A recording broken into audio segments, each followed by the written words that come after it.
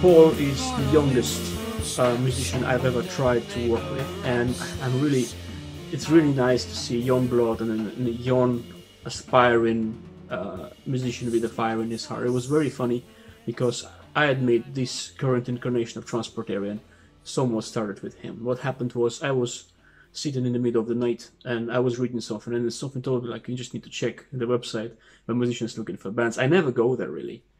So I found the advertising of, of, of a young drummer. He was just 17, I think, at that moment. And I thought, well, why don't you just try to reestablish Transport Aerian with the younger people? And so I just, you know, I mailed him and I got the demos from him and it was pretty impressive, especially given the age and, uh, and we went together, we played a little bit, and then we went a lockdown of, of, of, of COVID. And after the lockdown, he emerged like a completely different musician, so much better, with a lot of jazz elements, with fantastic grooves. And I thought, wow, that's just really impressive um, progress there.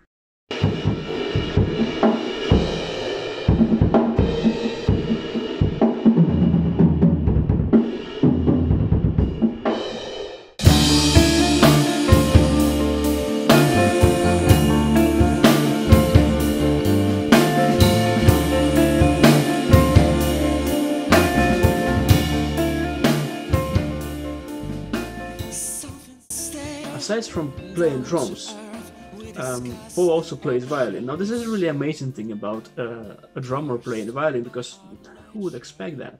And he provided some of his fantastic violin solos for some of the songs. One is uh, single Falling 20 that we already uh, have released, and we have a music video for it. You can check um, on the link below this video.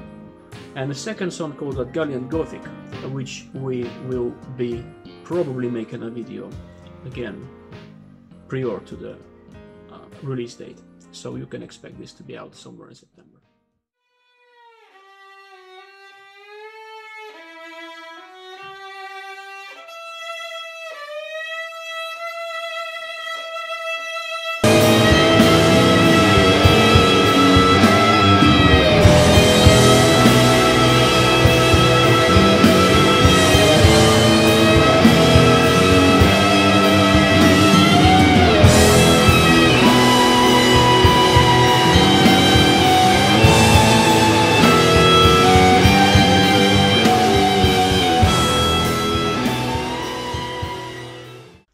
Also provided uh, one song of that he wrote to the album, and it's it, it was pretty interesting. It was very sort of fusion feeling. It was really experimental, and it just fit the album like a glove. The song is called Kuznetsov, and uh, you just check it. Measuring glass, no focus